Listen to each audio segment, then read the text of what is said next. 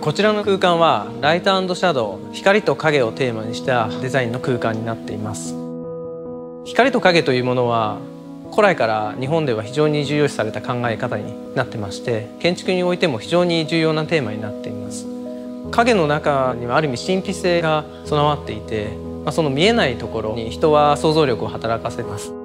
日本人の美の考え方というものは見えていないところにおける感受性の高さまあ、そういったところは非常に重要な要素になっています。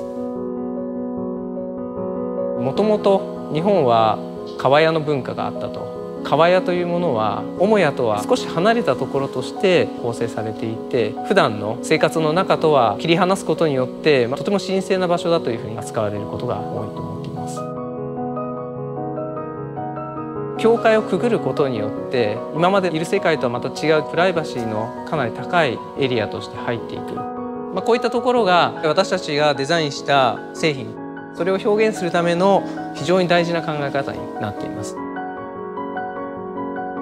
時には影の方に行ったり時には光の方に行ったり、まあ、それは晴れと毛の関係のような形として日々の私たちの生活の中でも行き来している。で例えばこちらにございますように軒であったり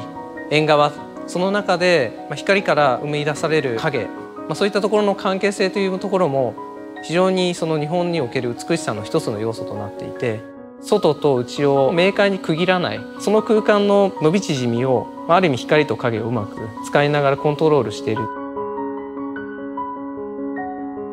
まあ、教会の中教会の外、まあ、そういったところをトランスフォーメーションできるような関係性を作っていくというところを私たちの使命としてデザインに落とし込みたいなというふうに考えています。